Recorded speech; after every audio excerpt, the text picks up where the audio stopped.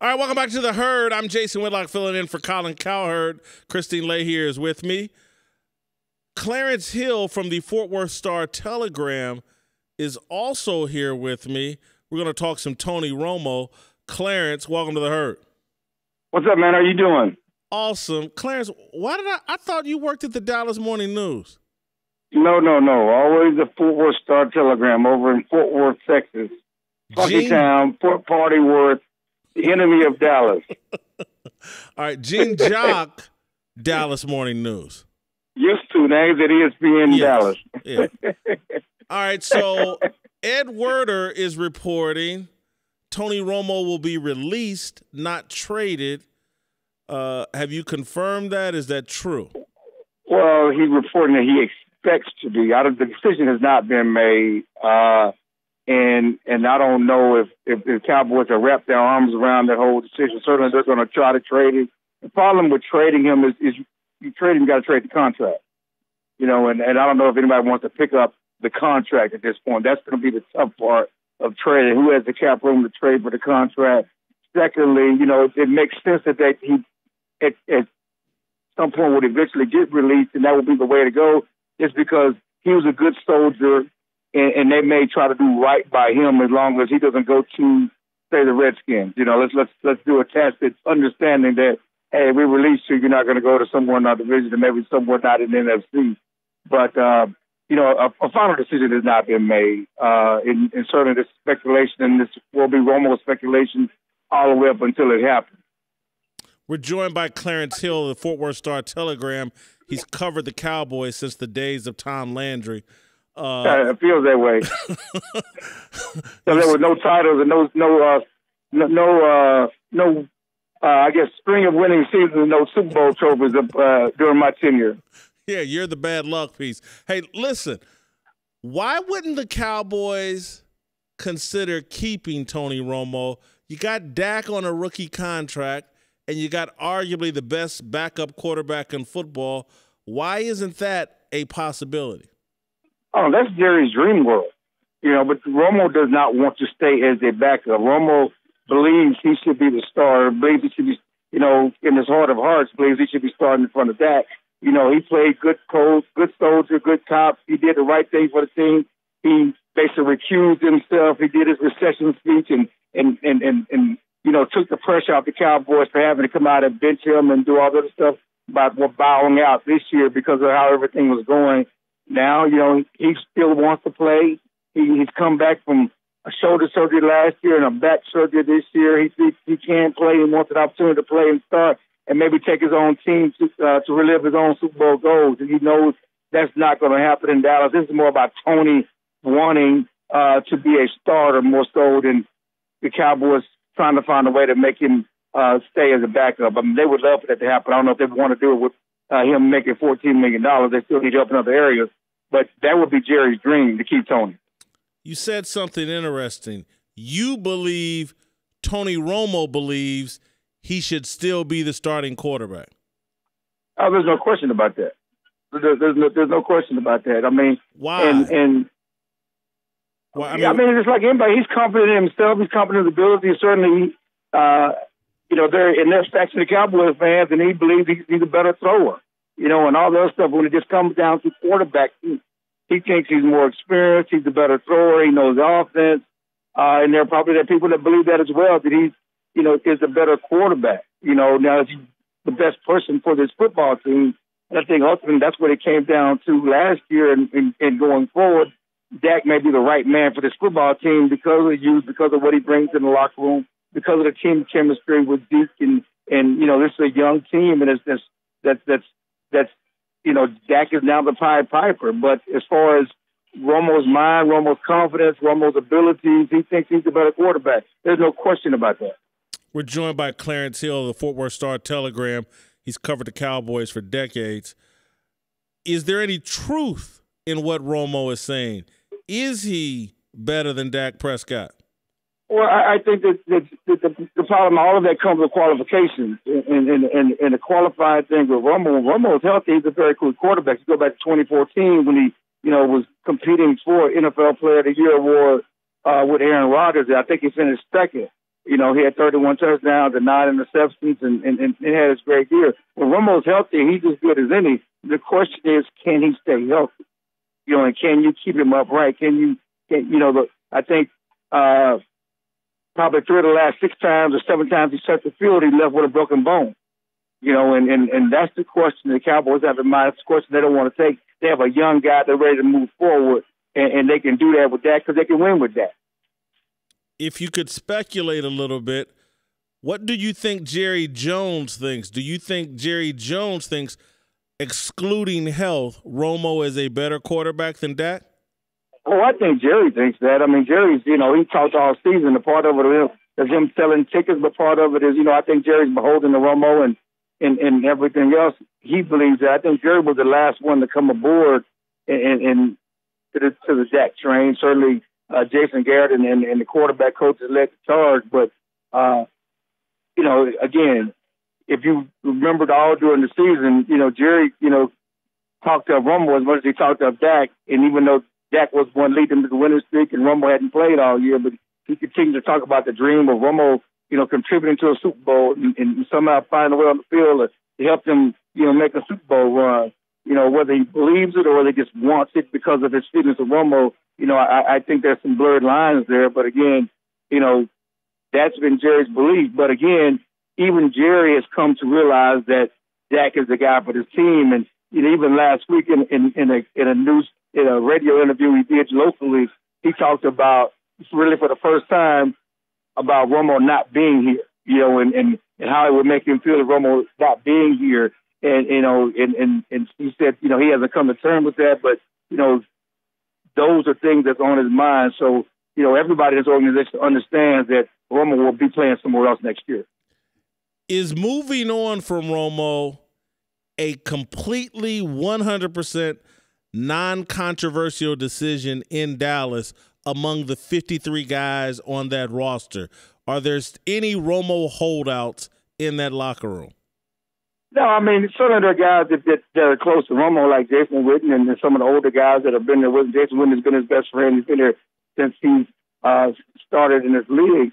But, you know, this locker room is, is 100% behind Dak, you know, and they've been that way. And, and again, Dak and Zeke and, and everybody saw what they did last year and believe they can move forward with them you know, even Witten, you know, has talked about, you know, the future the Cowboys have with Dak and Pete, uh, you know, leading the way. And and that's just, you know, you talk about a meritocracy, you can talk about, you know, whether they earned it, whether it's just a feeling, but but those guys, you know, they're the leaders of this team. They're they're the spirit. They give the team energy, and and, and the Cowboys are ready to go forward with that. We're joined by Clarence Hill, the Fort Worth Star Telegram. Clarence, probably not your particular area of concern, but could you speculate on where you think Tony Romo may go if he is released?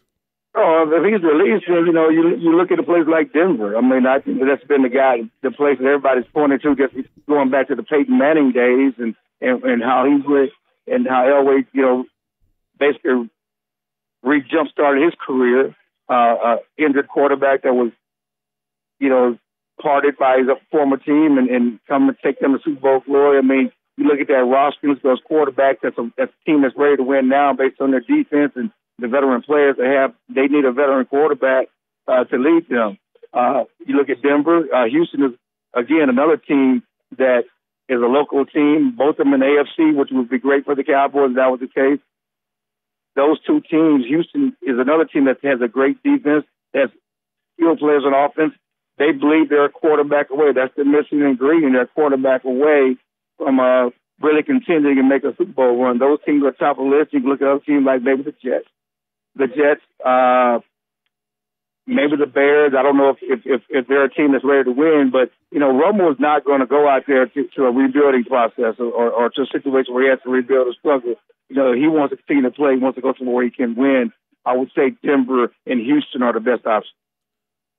Do you believe, having watched Romo and seen how brittle he seems to be at 37, do you think he would be a wise investment for a team that's trying to win next year?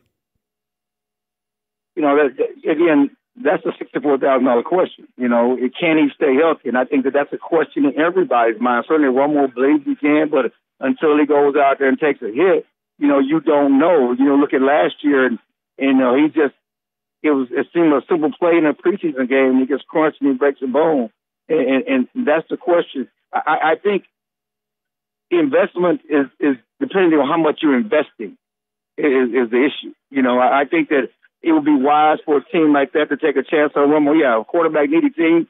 You know, if, if you're going to get $72 million to Brock Osweiler, I will take a chance on a guy like Tony Romo. That's a wise investment for Houston. Uh, again, you got to hedge your bets, so you know you can't invest $72 million.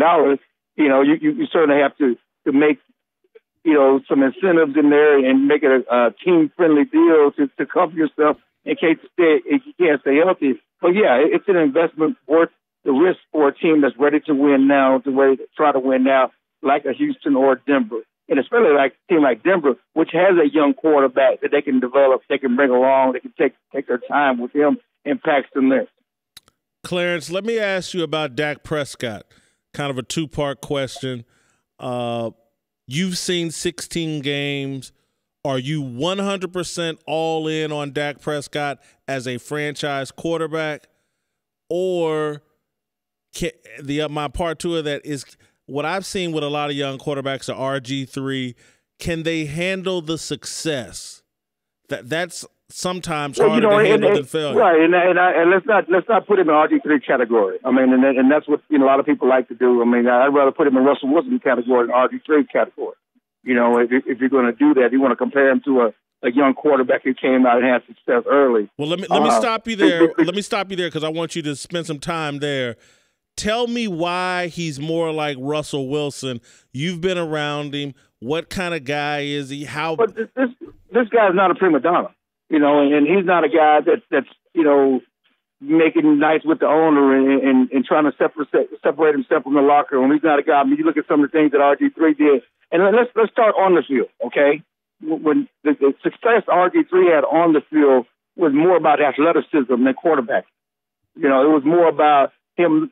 You know, they they took some things from his college offense and and and you know he'd make one read and he'd wow you with athleticism. Dak Prescott's game is not about athleticism. It's it's about making the right play. You know, he took what was there. He studied. He's the guy that came in from day one, you know, and, and wowed the Cowboys on the chalkboard, wowed the Cowboys with work ethic, wowed the Cowboys what he did in the locker room and learned the playbook. And he was prepared uh, for this opportunity, and he made the most of it. It wasn't a situation where it was all about him tricking with uh, athleticism, and, and that's something that you know you, you look at RG three, and it was about athleticism more so than just simple quarterback skills and and going through his reads. You, you look at you know what Dak Prescott did on the field, and you look at his quarterback rate. He had the best statistical season of any rookie quarterback in NFL history. He was always high up there. He broke Cowboy records, not just rookie record, but team records with quarterback rate. It was because he was making the right play, going through his reads, making the right throws. He was reading defenses and doing that sort of thing. So that's what separates him from, say, a guy like RG3. I mean, everybody wants to compare him to RG3 because uh, they came from, uh, you know, the mobile type systems and, and were, were great as rookie, but they, they are nothing like on the field. And again, off the field, if you look at the things that, that Dak has done and said and how he's handled things off the field, it's, it's much different than RG3. Uh, you know, early in his rookie season, you know, there was a chance, there was story out, and we talked about it, but and I'm sure you guys have talked about it.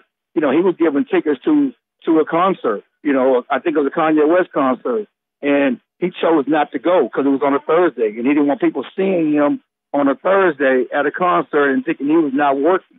You know, he. Chose, I mean, those are the type of conscious decisions that he makes that he has made as a rookie. You know, and he was not a first round pick. He's not a guy with he's a you know, was a fourth round pick, but he's already thinking consciously about those type of things during the bye week. He talked, you know, he didn't, he turned down, you know, opportunities to do commercial during the bye week, go spend time with his family and different things like that. Those are conscious decisions that he made. And here's a guy who got his, you know, got a master's degree in organizational leadership. You know, he talked about those things. He he's prepared to be a leader. He's always been a leader all his life. So those are things that he presses uh, in his locker room, that he presses upon himself to do the right thing, say the right thing, and certainly he is led by example as much as he led by his play. Last question, Clarence, and I'll let you go. You've done a great job. I think one thing he perhaps doesn't get credit for, and maybe he doesn't deserve any, but I've kind of given it to him from afar. Early in the year, there was a talk he didn't have a connection with Dez Bryant. We get to the end of the year, tough playoff game. Dez Bryant plays his ass off, and Dez Bryant played with a composure and a maturity that I don't think we've seen from him previously. And I'm just wondering if Dak – doesn't deserve some credit for that. The, the development of that relationship and maybe Dez following Dak's lead as a more mature player. Does Dak deserve any credit for that? Oh, there's no doubt. You know, and, and the, you know, the thing about it is everybody was talking about the relationship with, with Dez. Well, Dez missed time in camp. Dez missed time early in the season with injury. You know, those things take time. You know, and it was going to happen, and it did happen. He's going to get the ball to Dez, and, and he did. And, you know, the funny thing about it is that was Dez's best postseason game. Those were Dez's first postseason touchdowns in his career. He never caught a touchdown pass in postseason from Tony Romo. Well, we can debate whether he should have caught one in Green Bay or not, but facts are he's never had. That was his best postseason game. He had it with Dak Prescott. But yeah, Dak has been the leader, you know, and and and, and Dez has taken his step back and let Dak lead and has learned from Dak, and certainly Dez has matured. He's matured a lot on his own the last few years. I followed him closely. Certainly had a year year last year and was frustrated after contract and, and had some issues with the media. But this season, you know, for starting from training camp, Dez has been a different player. But again, Dak and Zeke, he's taken the lead. He, uh, you know, you know, he's followed behind them. You know, those guys again. When I talk about young guys, those guys are the younger. Those guys are guys that run this locker room right now. And yeah, you got to give Dak a lot of credit for how he's handled Dez. You know, there was, you know, real quickly, there was a story in training camp. You know, and and it was funny because Peter King had it, you know, way back in training camp, right before the start of the season, that Dak's first day when he took over from Tony Romo, they were doing, you know, one of the um, the goal line, you know, they were doing a two minute drill. They were doing a two minute drill, and he threw the ball to Dez, and Dez turned upfield and tried to run to the end zone. And Dak went and talked to him and said, "No, we, we need to get out of bounds. We need to get get, get the ball stop. The clock to get out of bounds so we can make a play there. That was not the right play. He as a rookie, as a fourth round pick, taking over for Tony Romo, taking over for uh, Kellen Moore, he had the wherewithal, he had the confidence, he had the leadership to talk to Dez about that that day in training camp before he became the Dak Prescott uh, rookie sensation that he became. So that's the type of guy he is. So yeah, yeah, learned a lot from him.